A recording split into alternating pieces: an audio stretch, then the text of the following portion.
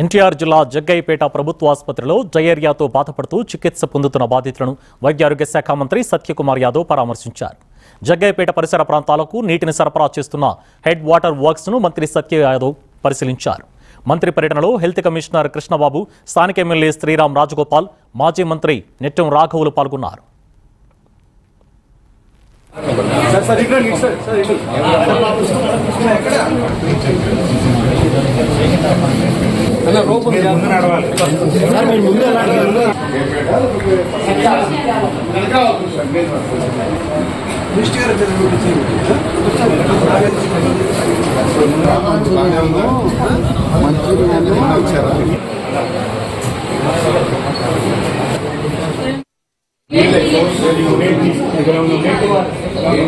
తీసుకొచ్చారు పంపులు వస్తాయి పంపులు వస్తాయి.